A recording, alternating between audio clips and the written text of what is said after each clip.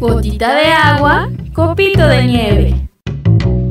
Había una vez una gotita de agua que soñaba con llegar a convertirse en nieve y cubrir de blanco las praderas del campo.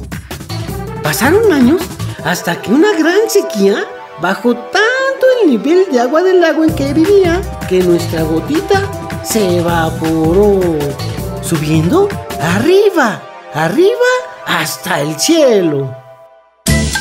Allí formaba parte de una pequeña nube y en cuanto hizo un poco de frío, buscó la primera campiña para dejarse caer y cubrirla de nieve.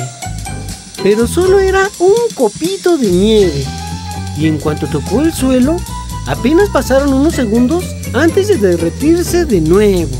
Y allí le tocó esperar otra vez hasta que los rayos de sol volvieron a llevarla de viaje hasta una nube blanca y regordeta. Allí, sin desanimarse por su primer fracaso, la gota volvió a dejarse nevar en cuanto pudo. Pero nuevamente, al cabo de unos pocos segundos, se había derretido completamente. Varias veces volvió a evaporarse. Otras tantas se transformó en copito de nieve y las mismas veces fracasó en su intento de cubrir los campos y laderas de las montañas. Finalmente, fue a parar a una gran nube, donde millones de gotitas de agua se agolpaban. A pesar de ser gigantesca, en aquella nube se estaba bastante incómodo, pues unas cuantas gotas parecían dar órdenes a todo el mundo y las obligaban, entre un gran jaleo, apretujarse mucho. Las gotas más grandes abajo, las ligeras arriba. Venga, venga, no hay tiempo que perder.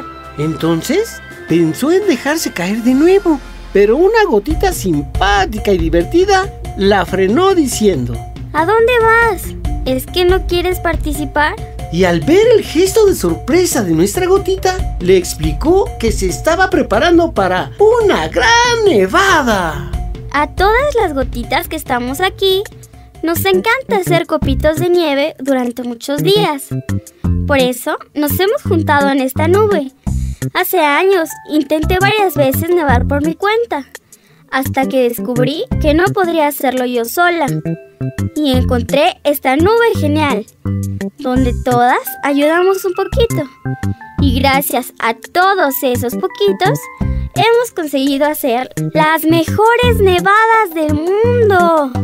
Poco después, ambas gotitas volaban por el cielo en forma de copos de nieve, rodeadas de millones y millones de copos que cubrían las verdes praderas de blanco. Y con inmensa alegría comprobó nuestra gotita que cuando todos colaboran puede conseguirse hasta lo que parece más imposible. Fin. Juan Pablo Sacristán.